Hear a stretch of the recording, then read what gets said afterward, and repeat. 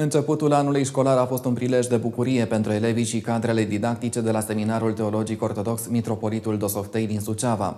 Astăzi ei au participat împreună la festivitatea de deschidere a anului școlar, dar și la binecuvântarea noului internat al seminarului. Slujba de binecuvântare a noului internat a fost oficiată de preasfințitul părinte Damaschin Dorneanul, episcop vicar al Arhiepiscopiei Sucevei și Rădăuților. La eveniment au participat alături de elevi și cadre didactice, autorități locale și centrale. În cuvântul rostit cu acest prilej, înalt preasfințitul părinte Pimen le-a vorbit elevilor despre responsabilitatea de a fi elev seminarist și viitor slujitor al bisericii. Este o școală cu un specific religios, teologic. Spune cuvântul omului de rând, a omului înțelept. O scamă pe o haină culoare deschisă nu prea se observă. Se pe o haină neagră se observă. O greșeală a unui elev la orice școală, mai puțin, pune semnul întrebări, dar o greșeală a unui elev seminarist și a unui student pune multe întrebări. Este o școală de vocație, de vocație, pentru că este această slujire care vă așteaptă, pentru care vă pregătiți, este o slujire de jertfă. În continuare, au luat cuvântul autoritățile locale și centrale.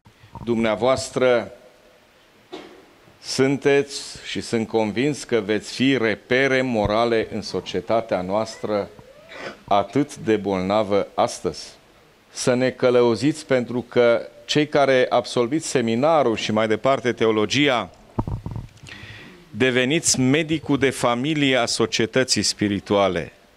România și românii au nevoie de acest medic de familie, nu numai în halat alb, și celălalt care să ne învețe să fim mai buni, mai toleranți, mai înțelepți și mai patrioți. Primarul municipiului Suceava a anunțat că elevii cu rezultate foarte bune la învățătură vor fi premiați. Din acest an, primăria a aprobat un regulament prin care vrem să stimulăm performanța.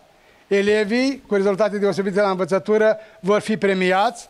Acest lucru se va întâmpla în ședința de Consiliu Local din data de 19 septembrie cu sume consistente, spun eu. Un început care aduce o bucurie deosebită pentru profesorii și elevii acestei școli, întrucât astăzi am sfințit corpul de internat al școlii, un loc care oferă condiții deosebit de bune elevilor seminariști.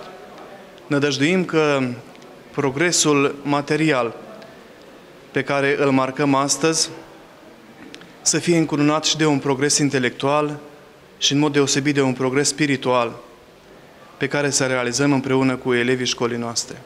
Suntem cu atât mai recunoscători cu cât ne dăm seama că Dumnezeu lucrează într-un chip atât de minunat, că la doar patru ani după acel incendiu nefericit care a distrus clădirea vechiului seminar, suntem astăzi în posibilitatea de a da în folosință o nouă structură, o nouă cale de a începe un învățământ de calitate aici în Bucovina. Suntem foarte fericiți și în același timp responsabili, dorim să ridicăm învățământul teologic din Suceava la un nivel înalt. Dorim să ne alinem cu toate celelalte licee de elită ale județului și ale țării. Lucrările de construcție la clădirea nouă a Seminarului Teologic Ortodox din Suceava au început în anul 2017.